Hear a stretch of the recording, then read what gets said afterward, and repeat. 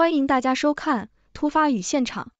我们现在给大家播报的主要内容包括：甘肃临夏州积石山县发生六点二级地震，领导喝酒醉驾不用罚；中国酒驾醉驾新规惹争议；中国两千零二十三十大新词发布；美国呼吁在印太地区建立类似北约的联盟的呼声日益增加；北京在南海展示肌肉，而马尼拉则使其陷入被动。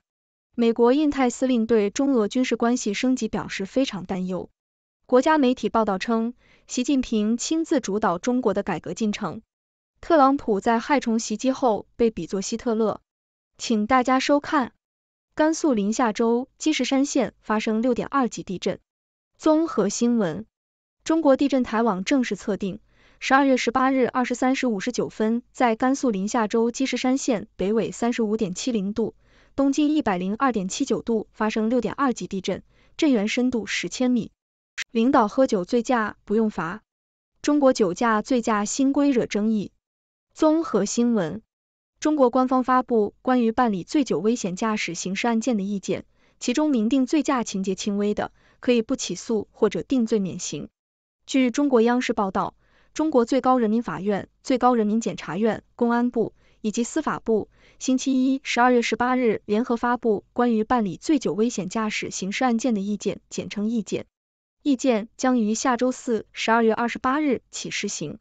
报道称，自二零一一年醉驾入刑以来，酒驾醉驾导致的恶性交通死亡事故大幅减少。为适应新形势新变化，系统总结醉驾入刑以来的执法司法经验，进一步统一执法司法标准，严格规范办理醉驾案件。两高两部经深入调查研究，联合制定了意见。意见规定了因酒驾、醉驾曾受过处罚等十五种从重情节，规定了一般不适用缓刑的十种情形。对存在发生交通事故、行为危险性大以及主观恶性深等情形的，从重处理；对醉驾同时构成交通肇事罪等其他犯罪的，依照处罚较重的犯罪定罪，并从严追究刑事责任。意见明确，醉驾情节轻微的。可以不起诉或者定罪免刑，情节显著轻微、危害不大的，可以不作为犯罪处理，按照道路交通安全法的规定给予行政处罚。中国多家媒体在社交媒体微博上转发了有关意见的报道。有网民说，这个情节显著轻微、危害不大的怎么界定？也有网民批评，酒驾都可以情节轻微了，其他的我想都不敢想。中国两千零二十三十大新词发布。综合新闻：中国发布二零二三年度十大新词语，村超、特种兵式、旅游、百模大战等词入围。据新华网报道，中国国家语言资源监测与研究中心星期六（十二月十六日）发布的年度十大新词语包括：生成式人工智能、全球文明倡议、村超、新质生产力、全国生态日、消费提振年、特种兵式旅游、显眼包、百模大战、墨子巡天。据悉，这些词语是基于中国国家语言资源监测语料库，利用语言信息处理技术，结合后期人工确认获得，数据规模约十五亿字次。其中，生成式人工智能和百模大战是今年的科技热点，后者描述了大规模深度学习模型在应用领域竞相发展的态势。村超和特种兵式旅游是今年的热门话题，贵州村超吸引超六亿人在线观看。带来近六十亿人民币旅游收入。特种兵式旅游是年轻人试图用最少的时间和金钱游最多景点的旅游方式。显眼包在网络语境中，特指那些在同类中脱颖而出、比较显眼的事物，属于褒义。墨子巡天是今年九月正式启用的望远镜，可监测移动天体和光变天体，用于高效搜寻和监测天文动态事件。美国呼吁在印太地区建立类似北约的联盟的呼声日益增加。德国之声，一群保守派美国政治家向国会提出了一项法案，该法案将建立一个事实调查小组，作为创建印太版北约的第一步，以遏制中国和朝鲜在该地区不断增长的侵略行为。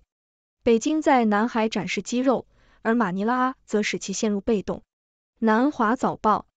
由于马尼拉采取了积极透明的策略，中国很可能会在南中国海与菲律宾的紧张局势升级。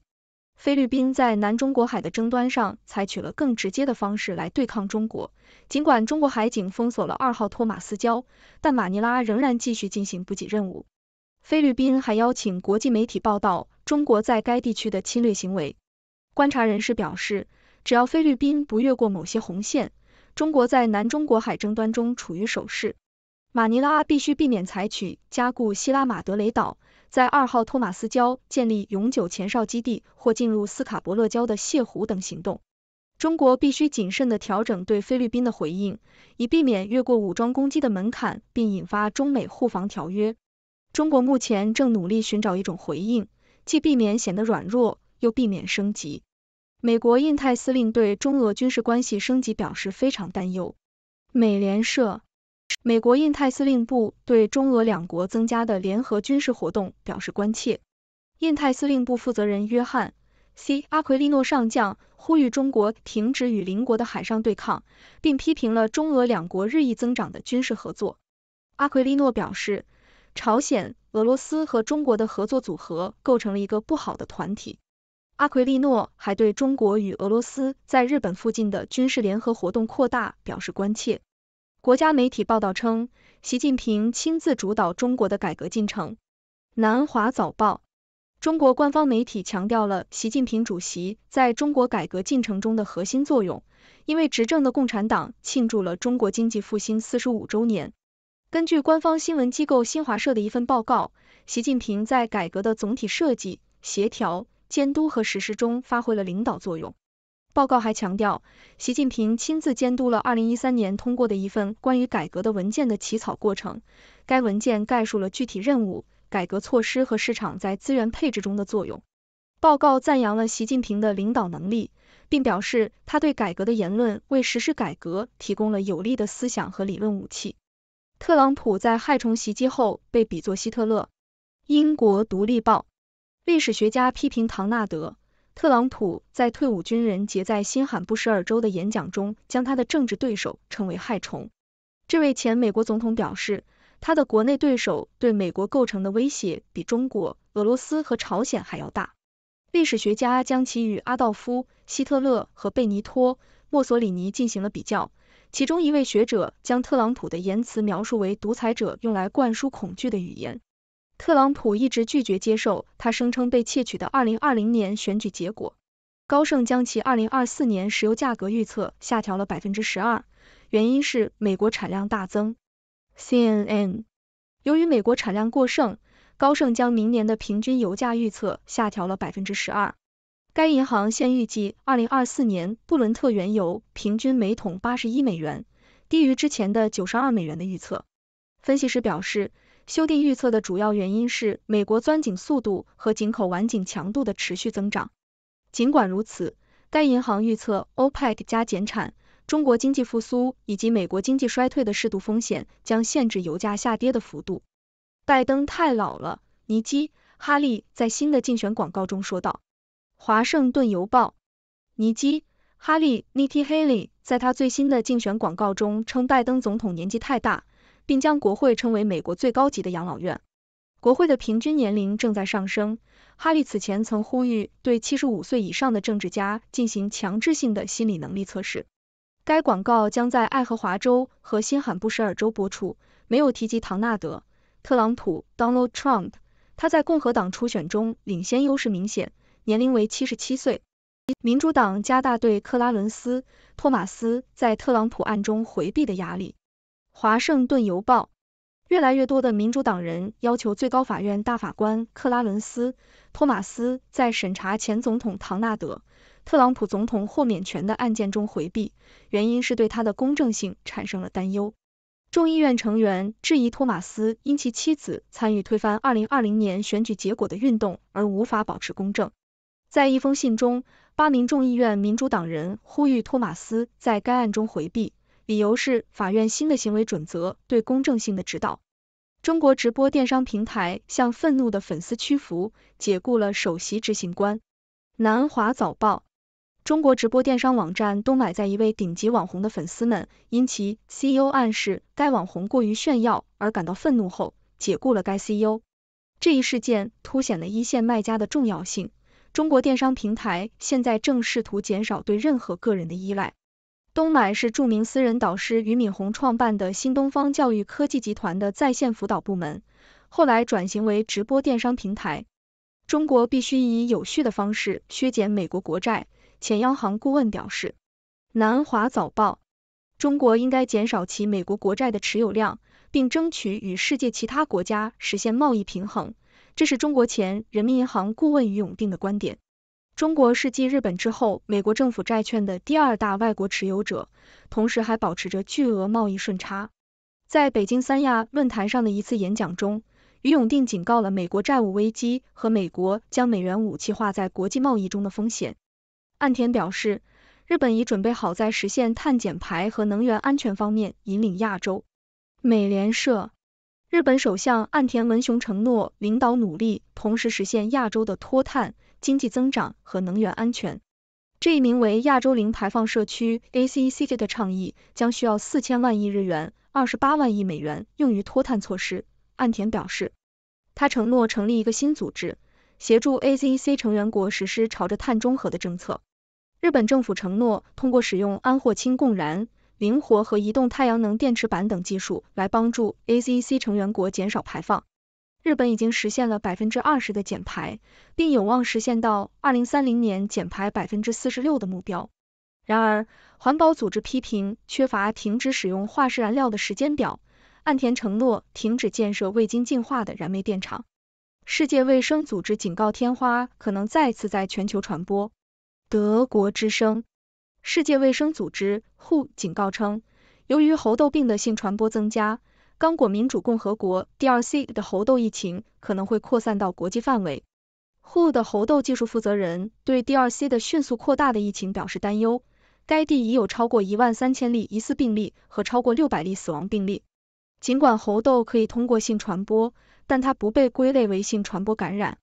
该疾病主要通过与感染者的密切接触传播，包括呼吸、说话和性活动。大家好，我是来自六度世界的六博士，是常驻六度简报的观察员。让我们快速回顾一下今天的新闻要点。首先，甘肃临夏州发生了六点二级地震，希望受灾地区的人们能够尽快恢复正常生活。接着，中国官方发布了关于办理醉酒危险驾驶刑事案件的意见。其中明确了醉驾情节轻微可以不起诉或定罪免刑的规定。这一新规引发了争议，一些网民质疑如何界定情节轻微。另外，中国发布了二零二三年度的十大新词语，其中包括了一些今年的热门词汇，如村超、特种兵式旅游等。此外，美国呼吁在印太地区建立类似北约的联盟，这引发了一些关注和担忧。在国际关系方面，美国印太司令对中俄军事关系升级表示担忧。同时，中国国家媒体报道称，习近平亲自主导了中国的改革进程。此外，特朗普总统在一次演讲中将他的政治对手称为害虫，这引发了一些争议。在经济领域，高盛下调了二零二四年石油价格预测，原因是美国产量大幅增加。同时，中国直播电商平台东买解雇了首席执行官。这凸显了一线卖家的重要性。另外，中国前央行顾问表示，中国应以有序的方式削减美国国债，并争取与其他国家实现贸易平衡。最后，世界卫生组织警告称，刚果民主共和国的猴痘疫情可能会扩散到国际范围，这引发了一些担忧。以上就是今天的新闻要点，我想听听你们的想法。你有什么样的想法？谢谢您的收看。上面播报的内容是六度团队推荐的全球专业媒体、智库、政府机构和行业专家的最新报道、分析简报。更详细的内容，请大家去这些媒体、智库的网站阅读。这些内容并不一定反映六度简报的立场，亦不能作为任何决策的建议。六度团队由专业媒体人、学者、科学家组成的独立新型媒体，大家可以根据自己的专业要求订阅各种简报。网址是。六度 brief 点 com，您在世界任何地方都可以通过电邮收到六度简报。